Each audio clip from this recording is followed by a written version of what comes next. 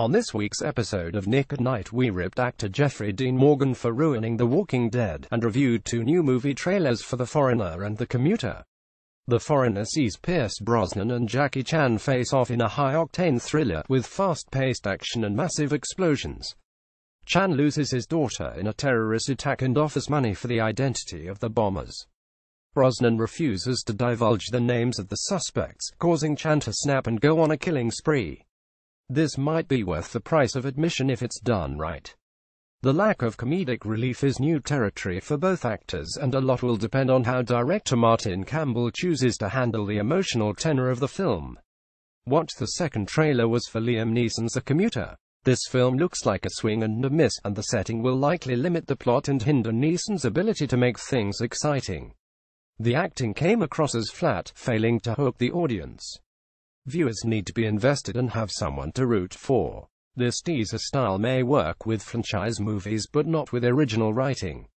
This could be a good compromise instead of a rom-com, but your wife or girlfriend probably won't get much out of it. Our last target of the evening was Jeffrey Dean Morgan, who portrays the iconic villain Negan in the AMC hit show The Walking Dead.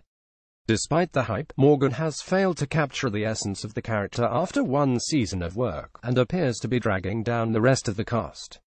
His overacting and mannerisms are cringeworthy, and, and his physique is nothing like the Negan of the comics. Negan was muscular and intimidating. He appeared gigantic in comparison to everyone else.